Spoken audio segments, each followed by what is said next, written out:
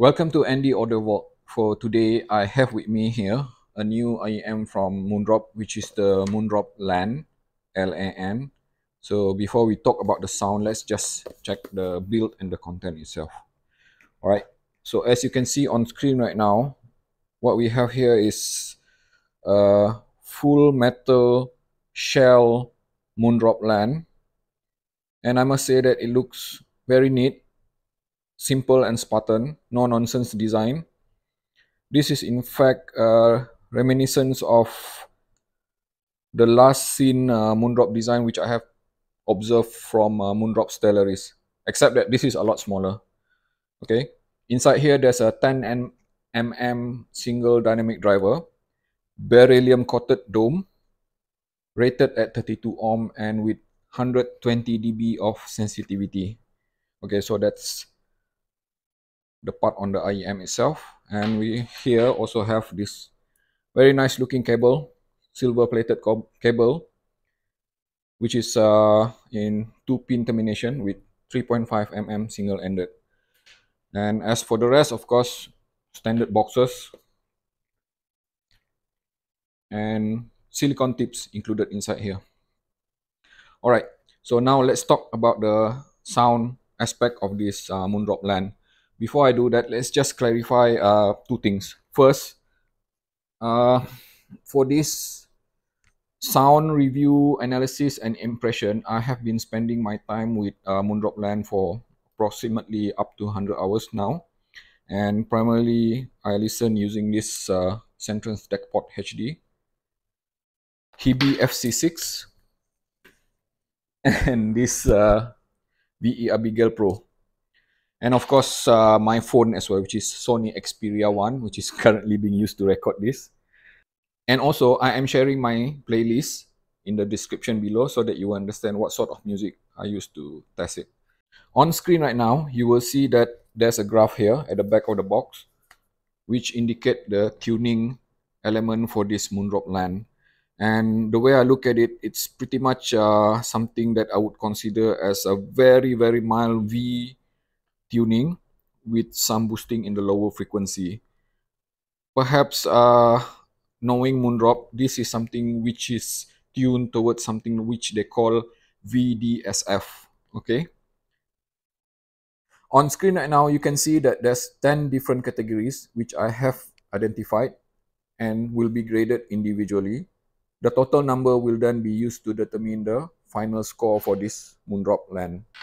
So let's talk about the element from 1 to 10, starting with the dynamic presentation and extension. So let's just put it this way. I consider Moondrop LAN being fairly good with dynamic presentation itself, the way it presents sound.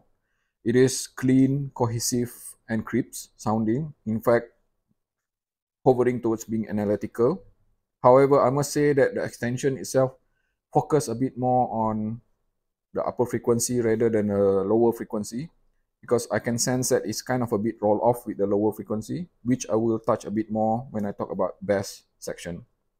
Okay, now as with tone and timbre balance, I must admit that due to that approach of being edging closer towards neutral, it does sound a bit lacking with the analog or organic element to the sound itself. Yes, it is clean, it is neutral, but it is also kind of a bit lean with not weight and density I wish it could have been a bit more richer. But again, depending on your preference, some people prefer a bit more of neutral presentation. Some people prefer a bit of richer, warmer sound. So LAN is more towards on the transparent sort of presentation. Okay, then we look into bass performance. So let's just put it this way. this LAN is not for bass head or people who love big bass or even uh, Harman sort of uh, bass performance because I would say that the focus for this LAN is more on mid bass rather than sub bass and it's kind of a bit roll off with the lower frequency as I said mentioned earlier. I can sense that the decay stage of bass kind of a bit you know cut off a bit early manner of saying that it is roll off. Having said that, I enjoy the performance of bass from this LAN. For example, it does really well with percussion bass or even string bass for jazz or even rock music. There's ample amount of rumble and punch to it with good authority, especially coming from mid bass, and it sounds organic enough to my ear. It is fast and tidy. However, the only lemon that I would say that from that perspective, when it comes to decay stage, it does sound kind of a bit, again, roll off. Switching on to mid-range, I would consider Moondrop LAN as being one of those IEM that is neutral and transparent to the intended sound. So it does not exhibit any kind of coloration or any kind of uh, warming to the sound itself. Let's just take some example. For example, like, you know, for male and female vocals, it just sounded correct. It just sounded neutral.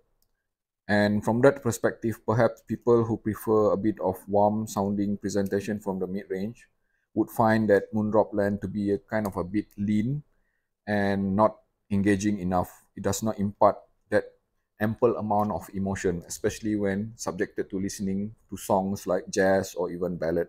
However, for instrumentals or even percussion or even let's say exciting music, it has ample amount of energy to impart that kind of accuracy to the sound itself.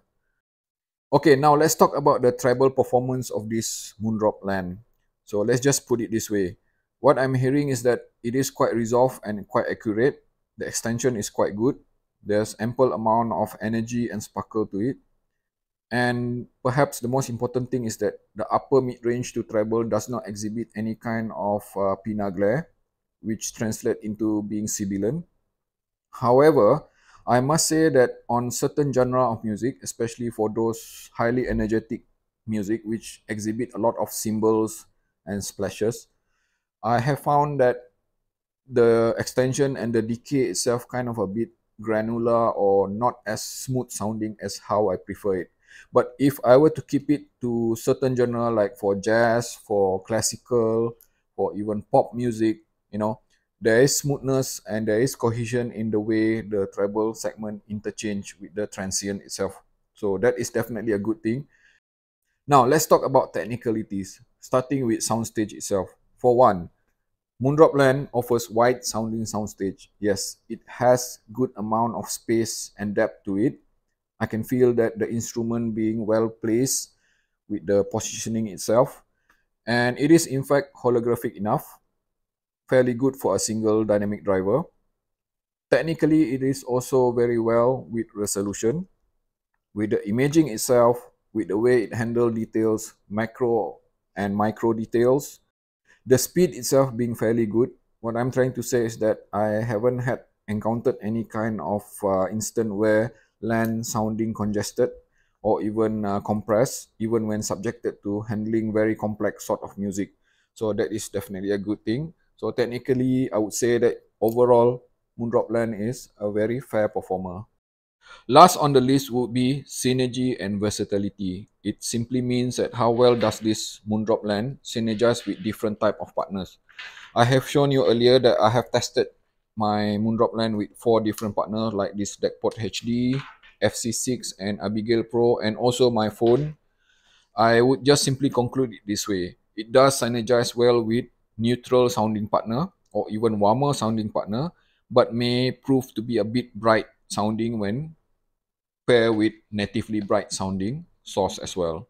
So it's not exactly very versatile. You must be very careful with the type of source that you have. So essentially, Moondrop LAN has got a total number of 73 out of 100.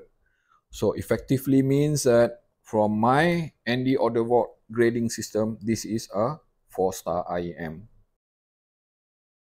Comparison. So how does this Moondrop LAN compare against the rest of the competition? And perhaps a lot of people will be asking, how does it compare with Moondrop own IEM, which is the Chu? Okay, in order to do that, let's just have a look at the specification itself.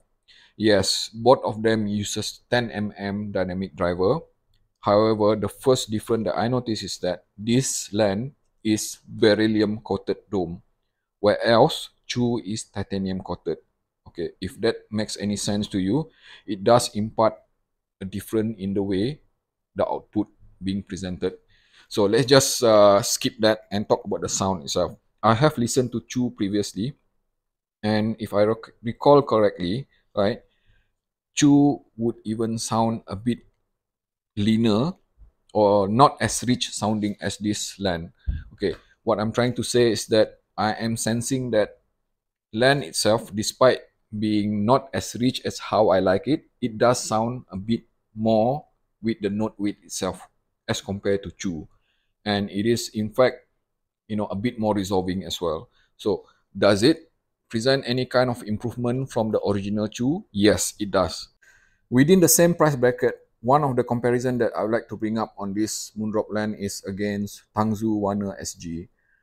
Okay, let's just put it this way. Wan'er SG is a bit more musical, it is smoother, and it is a bit more organic. However, from another perspective, this Lan is also a bit more analytical, resolving, and more neutral. In fact, it is also a bit better with technicalities. So it boils down to what sort of sound do you prefer? If you prefer something is, which is a bit warmer and musical, Wan'er SG it is. Next comparison would be against Tanchjim Ola Bass version. Okay, and the reason that I'm bringing up this Ola Bass version is that because pretty much I think both of them are very similarly tuned. Okay, it's kind of like you know close to being neutral, but with some focus on mid bass segment, and both are in fact resolving, accurate, and exhibit the similar kind of timbre balance which is not so organic but a bit more analytical. The main difference being is that Ola bass version, as the name imply, even has higher bass boost on the mid bass itself. When Moondrop Chu first came out few months back, people already like it. It was very well received, but it was also mentioned there that you know many people would have wished that you would have detachable cable. And you know what? Moondrop listen, and we have this right now. Essentially, similar kind of sound tuning with some improvement. Okay, but most importantly, you can change the cable as you like. And in fact, kind of a bit uh, different with the presentation itself. It is silver now with slightly different casing, similar to Moondrop Stellaris, in fact. In a way that in order to have that changes, you just need to pay a bit more. In fact, you have to pay double the price of Moondrop Chu. Thank you for watching until the end. I hope this has been useful to you. Please stay tuned to my channel and the Audio Vault for more content like this.